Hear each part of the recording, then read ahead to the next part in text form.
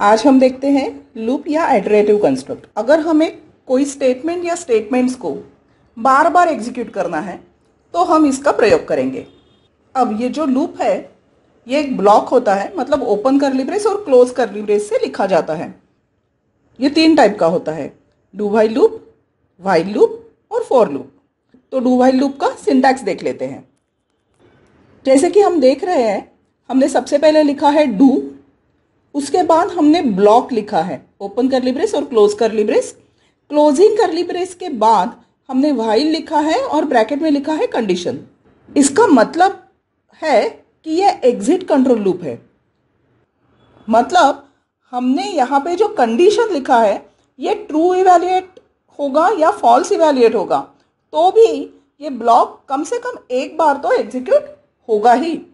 तो अब हम एंट्री कंट्रोल लूप का भी सिंटैक्स देख लेते हैं। पहला लूप है वाइल लूप यहाँ पे हम देख रहे हैं कि ये डू वाइल की तरह है लेकिन वाइल हमने लिखा है डू के जगह पे और यहाँ पे कंडीशन लिख लिया है।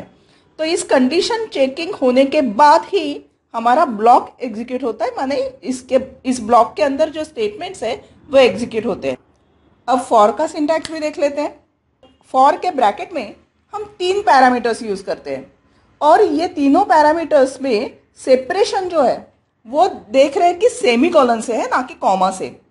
पहला पैरामीटर है इनिशियलाइजेशन यहाँ पे वेरिएबल को वैल्यू असाइन किया जाता है, जो सिर्फ़ एक बार ही होगा। सेकेंड पैरामीटर है, जो है कंडीशन तो पहला इनिशियलाइजेशन है और उसके बाद कंडीशन चेक होगा। अगर ये कंडीशन ट्रू होगा तो ही लूप एग्जीक्यूट होगा, माने ये एंट्री कंट्रोल लूप है। अब कंडीशन होने के बाद होगा स्टेटमेंट एग्जीक्यूशन जो थर्ड होगा और उसके बाद होगा इंक्रीमेंट या डिक्रीमेंट उसके बाद वापस कंडीशन चेक होगा। अब इनिशियलाइजेशन नहीं होगा क्यों क्योंकि जैसे मैंने कहा, ये सिर्फ़ एक ही बार होगा। तो कंडीशन चेक होगा स्टेटमेंट एग्जीक्यूट होगा, फिर से इंक्रीमेंट डिक्रीमेंट होगा। जब तक कि ये कंडीशन का रिज़ल्ट फॉल्स इवेल्युएट नहीं होता है। तो अब इन सारे ही लूप को हम प्रोग्राम में देखते हैं। सबसे पहले प्रोग्राम का स्ट्रक्चर लिख लेते हैं।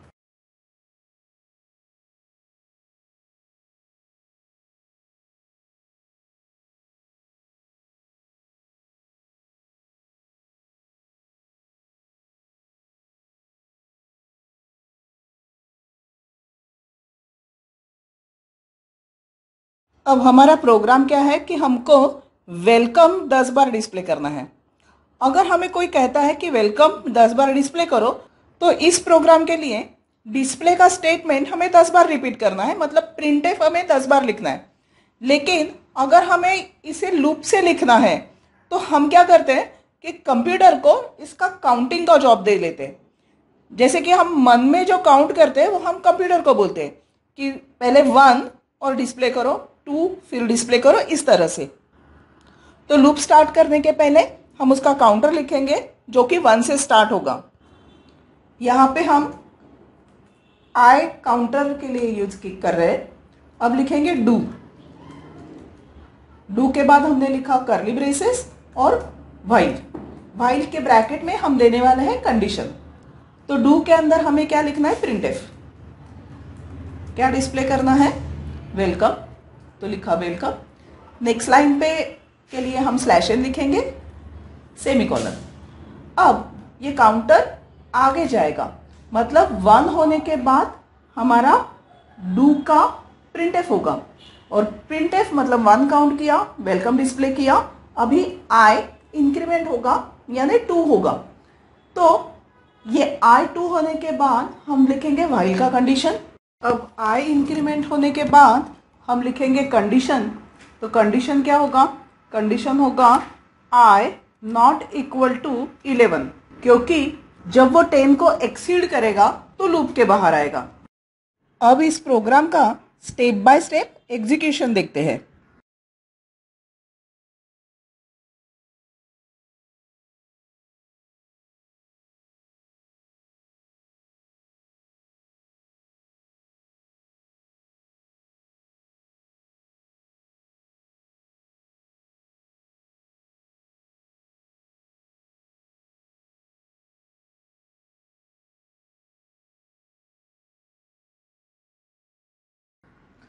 वॉच विंडो में आई जो हमारा काउंटर है। अब काउंटर का वैल्यू हो गया वन आउटपुट विंडो में देख रहे हैं वेलकम आया है। काउंटर हो गया टू कंडीशन ट्रू है। लूप वापस एग्जीक्यूट हो रहा है।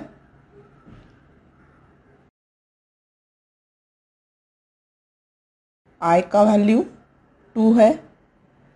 अब आई का वैल्यू हो गया थ्री कंडीशन ट्रू है?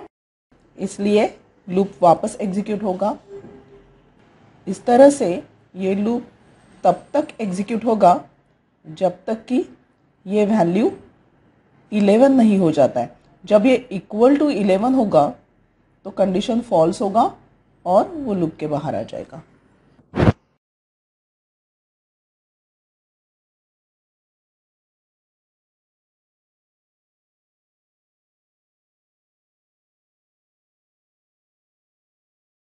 अब इसे वाइल लूप से लिखते हैं। वाइल लूप से लिखने के लिए हमें बस सिर्फ़ इतना करना है कि यहाँ पे ये जो वाइल लिखा है, उसे डू के जगह पे लिख लेना। है सेमी कॉलन का ज़रूरत नहीं है।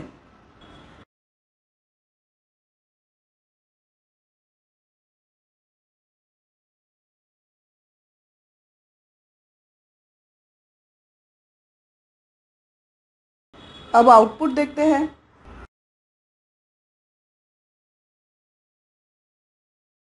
नेक्स्ट वीडियो में हम फॉर लूप का सिंटैक्स देखेंगे।